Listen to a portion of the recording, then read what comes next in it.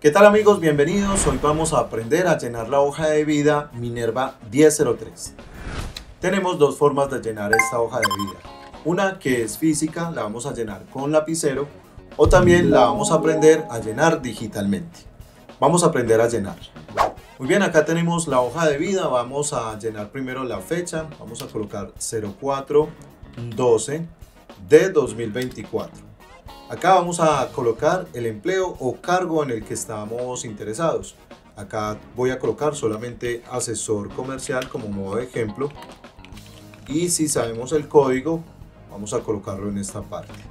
Si no saben el cargo al que aplican, lo van a dejar en blanco. Nombres del aspirante, vamos a colocar nuestro nombre y nuestros apellidos. Vamos a colocar acá la dirección de domicilio o la dirección de donde nosotros vivimos y el barrio.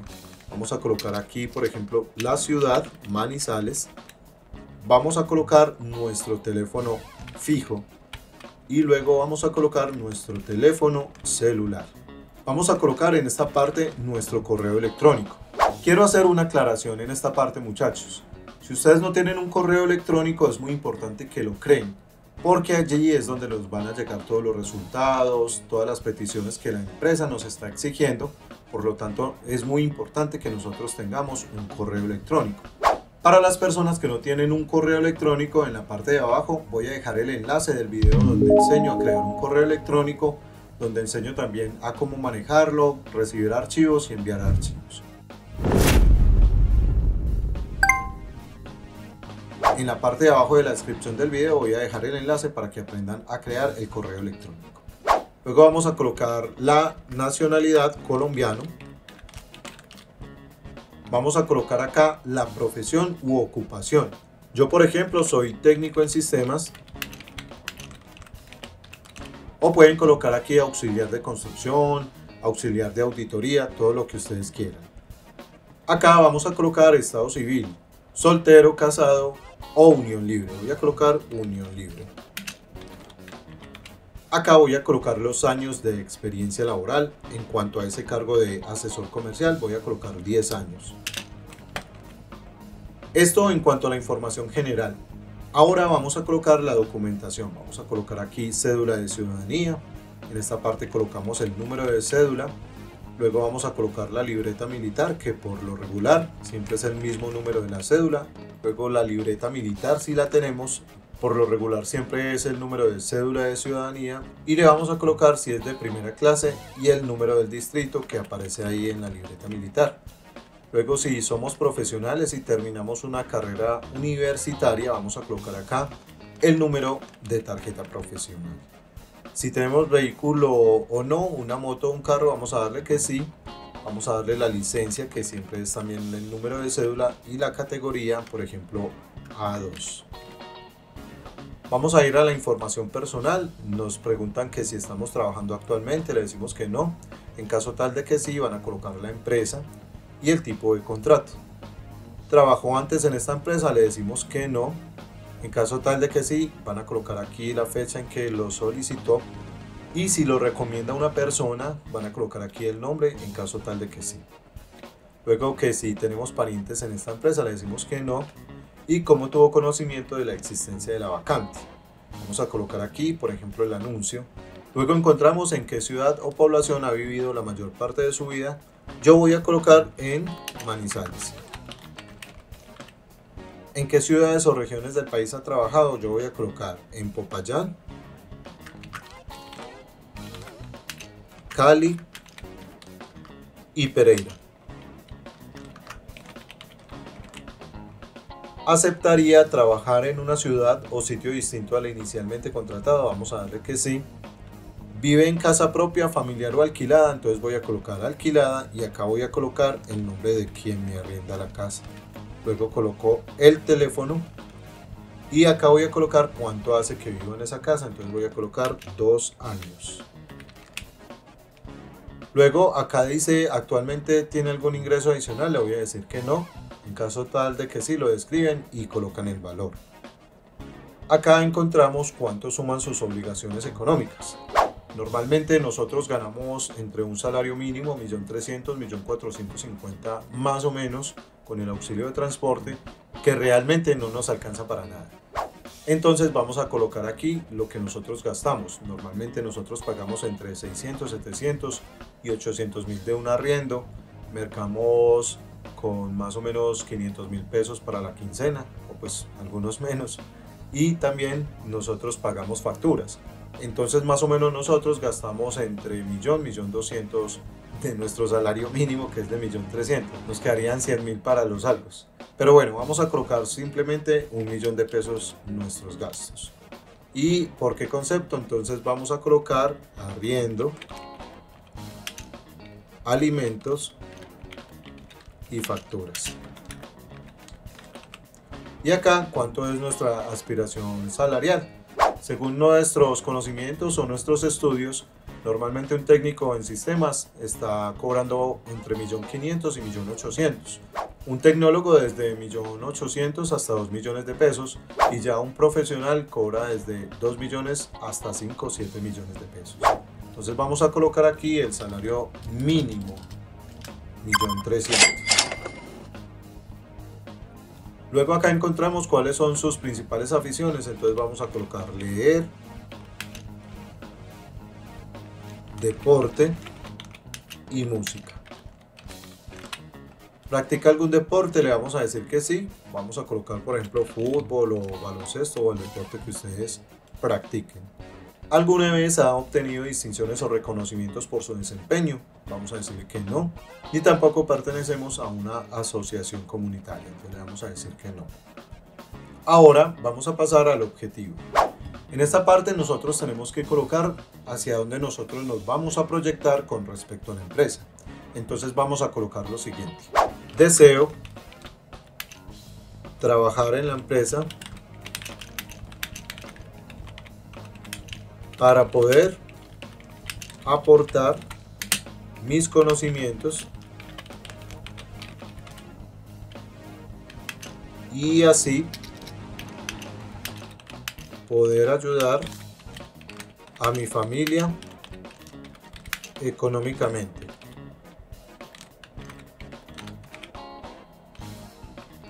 Vamos al siguiente renglón. Capacitarme para ser más productivo.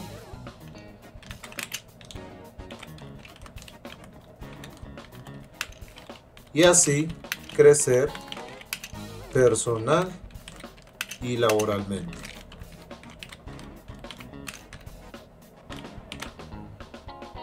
Muy bien, esto es lo que vamos a colocar en el objetivo o algo similar. Luego vamos a encontrar la información familiar. Acá vamos a colocar el esposo o el compañero o la compañera, la profesión que este o esta tiene y la empresa donde trabaja. El cargo actual que tiene ella, la dirección donde queda y el teléfono y la ciudad. Es muy importante que coloquen estos datos reales porque la empresa los va a contactar y van a verificar que sí sean datos reales. Luego acá encontramos número de personas que dependen económicamente del solicitante. En este caso voy a colocar yo dos a modo de ejemplo. Parentesco voy a colocar que son mis hijos, que tengo uno de 15 y que tengo uno de 22. Luego aquí en esta parte nos preguntan el nombre de los padres.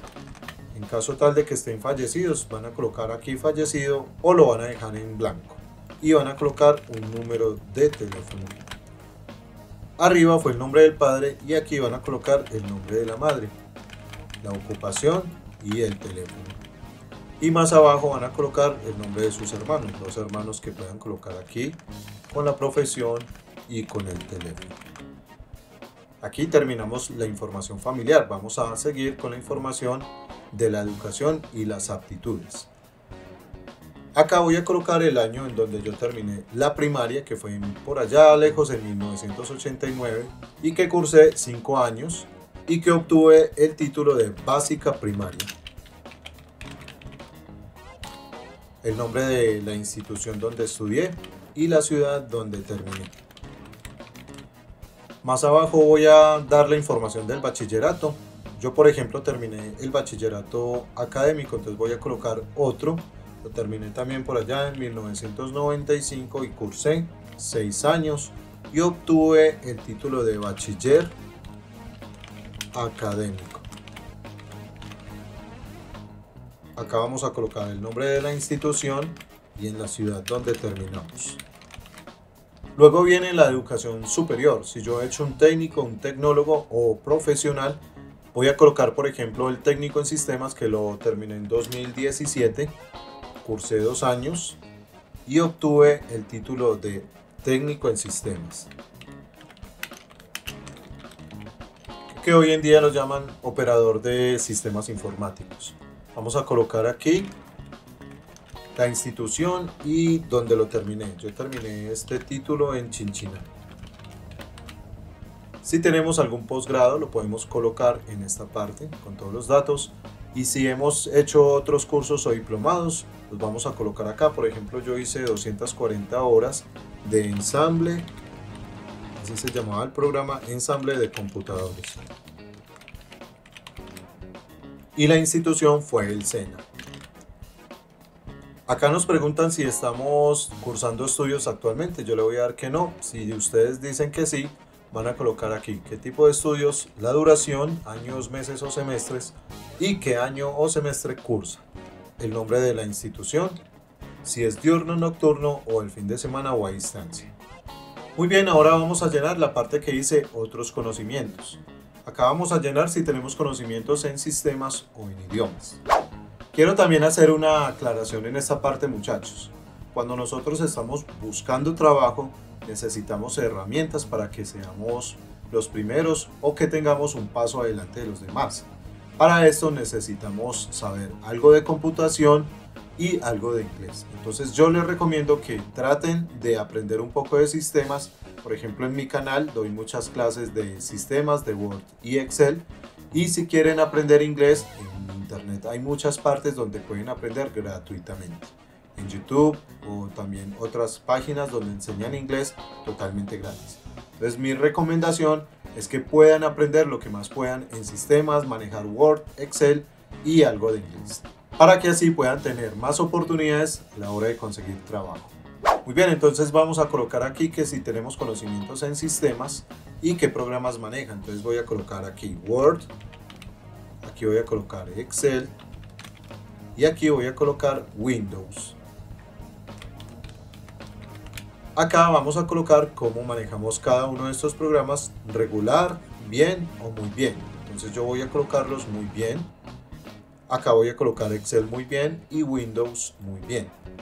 Y en la cuestión de idiomas vamos a colocar que sí, vamos a colocar el idioma inglés que es súper importante, que sepan algo de inglés y en la lectura nos pregunta que si estamos regular, bien o muy bien. Y en la escritura y en el hablado. Entonces vamos a colocar bien, bien y bien en el hablado. Luego vamos a colocar aquí en la trayectoria de las empresas. Vamos a colocar en todos los campos que nosotros hemos trabajado. Por ejemplo, yo he trabajado en bodega, auditoría, personal, sistemas. Voy a seleccionar aquí los campos donde yo me he desempeñado para darle como un poco más de conocimiento al empleador de todas las capacidades que tengo. Seguimos para abajo y empezamos con la experiencia laboral. En esta experiencia laboral les recomiendo que coloquen datos reales, empresas que estén en el momento activas, porque esto lo verifica la empresa. Entonces deben colocar los datos de las empresas reales para que puedan contactarlos. Y van a colocar desde el último trabajo que tuvieron hacia atrás. Entonces vamos a empezar con la primera. Vamos a colocar acá el nombre de la empresa, vamos a colocar la dirección y el teléfono. Recuerden que es un teléfono actual que esté disponible para que puedan verificar las referencias laborales. Vamos a colocar acá el cargo que tenía, auxiliar de auditoría, asesor comercial, el cargo que desempeñaron en esta empresa. Ahora van a colocar el nombre de su jefe inmediato, van a colocar la fecha de ingreso y la fecha de retiro.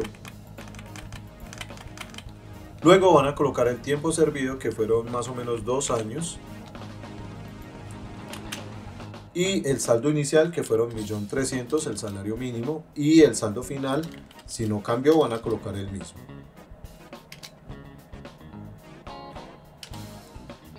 Luego el cargo desempeñado por usted era asesor comercial.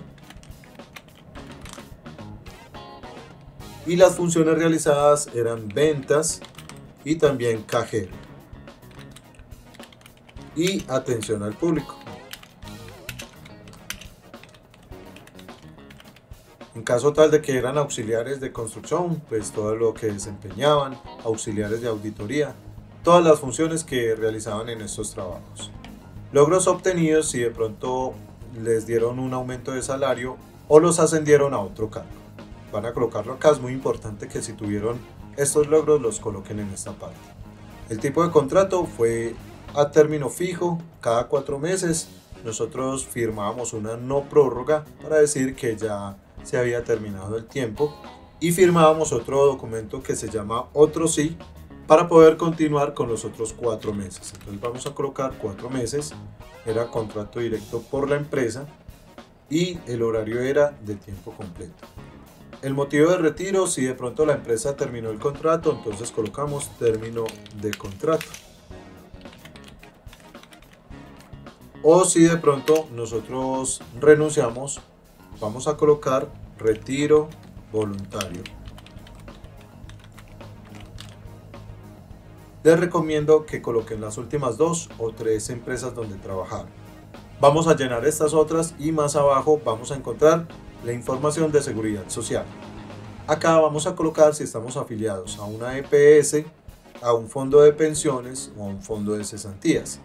En caso tal de creemos que sí, van a colocar aquí cuál es el fondo y la fecha de afiliación, si somos cotizantes o beneficiarios. El cotizante es la persona que ha firmado el contrato con esta empresa y los beneficiarios son nuestros hijos o nuestros padres que afiliamos por medio de este contrato. Luego colocamos acá que no, vamos a colocar fondo de pensiones, no, si no estamos trabajando, y el fondo de cesantías, no. En caso tal de que le den que sí, van a colocar aquí cuál y la fecha de afiliación. Muy bien, seguimos con las referencias personales. Recuerden que estas referencias personales no pueden ser su esposo ni ningún familiar porque estas ya se convierten en referencias familiares.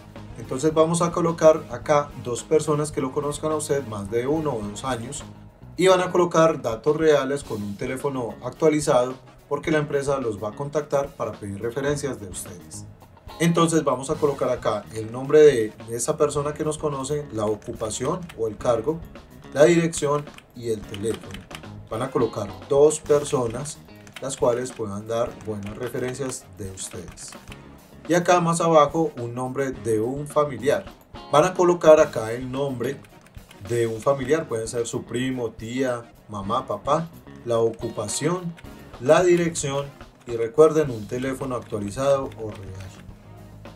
Esta parte acá ya es para el empleador, no la van a tocar, van a autorizar pedir información, van a señalar esta con una X. Autorizo pedir información de mi hoja de vida sin ninguna restricción. Muy bien, ahora queda insertar la firma digital y también la fotografía. Para esto muchachos les voy a dejar acá este video donde enseño cómo insertar una fotografía en este documento digital. Si ustedes quieren la pueden imprimir y pegar la foto en físico, pero si no la tienen en físico pueden pegar una fotografía de forma digital y también en la descripción del video les dejo cómo insertar una firma digital.